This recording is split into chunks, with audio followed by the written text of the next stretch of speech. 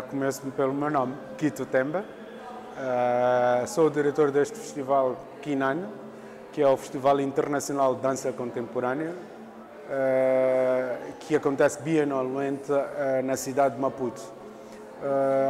este festival, que agora vai já na sua oitava edição, tem sofrido várias um, transformações Dentre elas, um dos grandes problemas ou uma das grandes situações que a gente se deparava com ela no início do festival era a, questão da formação do público.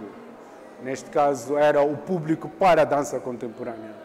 Uh, tendo vários coreógrafos, vários projetos em volta da dança contemporânea e com a ausência de público local, o que este festival, ou que o Kinane neste, neste caso, deu como contributo foi esta, esta parceria com os coreógrafos que criou com as escolas públicas e, e, e as universidades uh, da, da, cidade de Maputo, que era criar esta questão de pôr os coreógrafos a trabalharem nas escolas, a trabalharem nas, na, nas universidades para criação de público. Uh, é, é, é, importante referenciar que esta questão de, de da, temática no Kinana foi sempre uma, uma constante.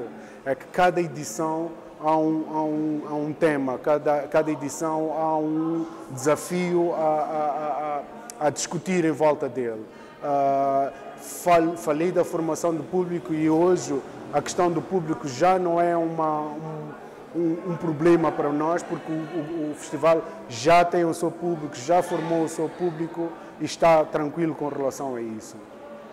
Uh, em 2015, por exemplo, uh, a, a, questão focal para o festival era esta discussão de espaços para mostra das artes e espaço para trabalhar-se a, a, dança contemporânea.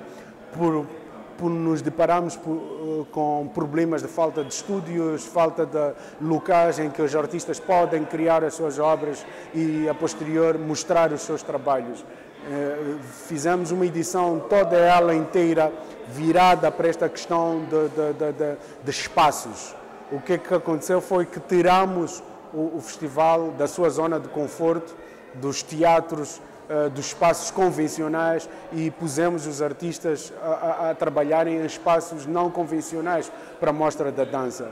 Uh, é daí que surge este projeto que é o projeto Quarto Andar, que, que é a ocupação de um prédio abandonado no meio da, do centro da cidade uh, na altura da independência e que até então nunca sofreu nenhuma transformações e o festival ocupou este, este, este prédio através da arte, através da, da performing uh, instalações e performing art.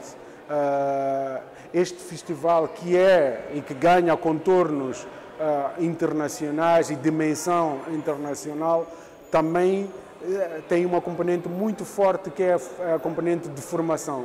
Formação através de intercâmbios, através de projetos específicos da, da formação, que é convidar coreógrafos e profissionais de diferentes áreas para uh, convergirem em Moçambique, uh, tudo em volta do Kinane e que tudo deságua nesta uma semana, mas o que antecede esta semana de espetáculos ou de performance eh, é uma componente muito forte que é esta componente de, de intercâmbio, de workshops, eh, e, em que os artistas, através de colaborações e através de interações, vão criando obras e vão criando uh, sinergias para as próximas criações. Né? Isto é um pouco o, o, o retrato de Kinana, que é também dando como contributo uh, para, para, zona, para esta região sul de África, não somente focalizada em Moçambique, mas que sirva como plataforma para a região toda. Então, os países uh, desta região sul de África acabam vendo o Kinana como uma das plataformas em que possam emergir e que possam a mostrar os seus trabalhos para, para, para além fronteiras. Em poucas palavras, o que é o Kinan? O que é o festival? Kinan é a plataforma internacional de dança contemporânea de Moçambique.